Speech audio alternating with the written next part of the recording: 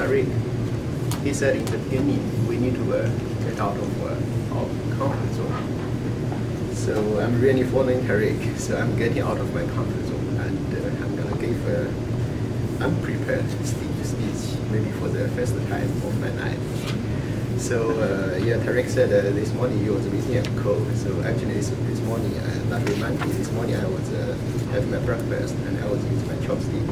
So uh, yeah, this made me uh, some some of you may not use chopstick, some of you may use fork and knife. So uh, to start, I'd like to ask you guys a question. So how, uh, so when you have dinner, how many of you guys use a fork and knife?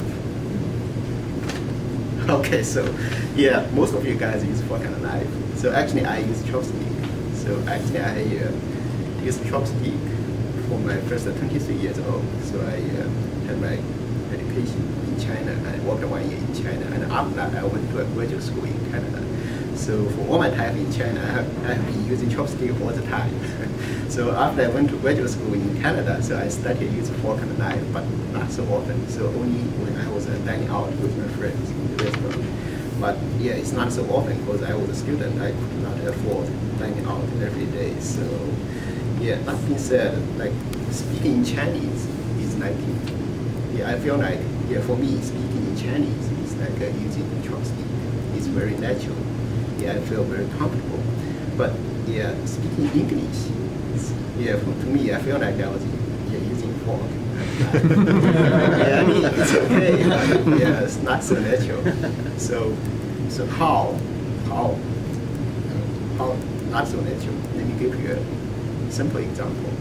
So uh, the first semesters uh, in my graduate school in Canada, so I was a teaching assistant for my professor.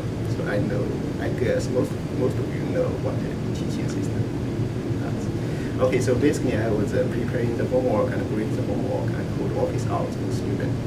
Yeah, but yeah, one week my professor he has he had to attend a conference, so he asked me to uh, give a lecture for him.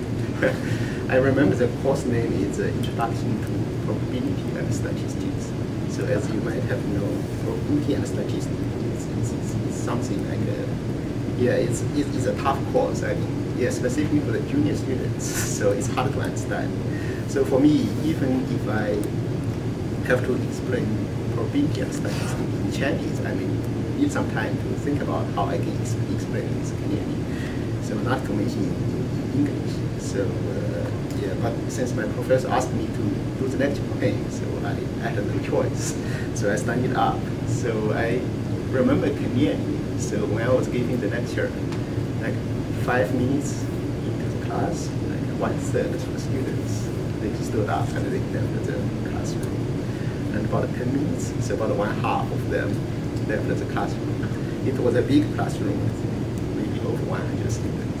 So yeah, at the end of the class, like maybe only, yeah, yeah, barely half of students, yeah, they, they remained in the classroom. So I was very, very embarrassed during the lecture and after the lecture for a while. So I thought, okay, so I do need to improve my English. This is something like come natural, so I do need to practice to improve. So what, what did I do? So I found a tutor. So uh, she was a student at that time as well. She, uh, she uh, had a program, so she has to go to China for an exchange program. So she wants to learn some, she wanted to learn some Chinese. So and I wanted to learn some English. So yeah, I kind of paired up with her. So she started teaching me the pronunciation, pronunciation for each single letter, like how to pronounce A, how to pronounce O, and what's the difference between L and N. So something very basic. I know for many of you, it sounds unbelievable because you guys did this in the elementary school. But I started learning this in my graduate school. So, but that's what happened. So I think I improved a little bit. So after I finished my uh, master degree in Canada, so I, uh, I, I, moved to UCLA for my PhD um, study. So I didn't stop improving my English. So I took a spoken English class at UCLA. So yeah, was I was trying to improve my spoken English. Again, I, I, I mean, this sounds very basic to you guys, but it was very hard for me at that time. So uh, yeah, user A. so this time my professor, she uh, asked me to uh, be a teaching assistant again. So I said, yeah, no problem. So I will, yeah, the teaching assistant.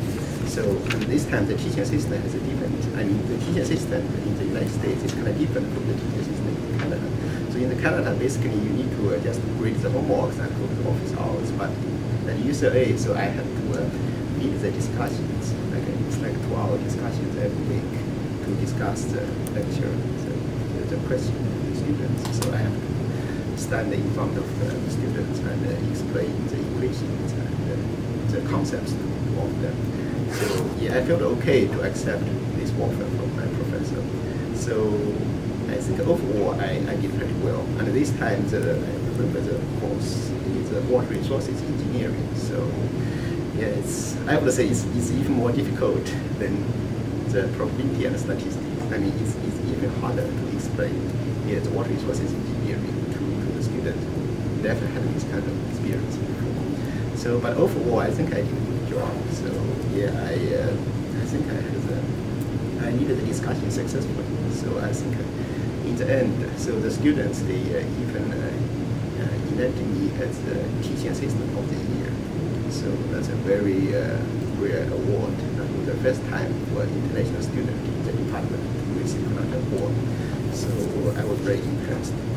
So, um, so to sum up, so I think to improve something, you really need to have passion in the first place. So you, you, you have to you, you have to have the willing to improve, uh, and you're willing to spend time uh, to improve. That's really the first first part you gotta have. And the second part is action. So yeah, so I know many of you have many of us have many uh, great ideas, but if you don't put it into action, so yeah, you will get nothing.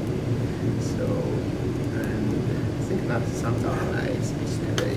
And by the way, I'm very comfortable in using fork. And I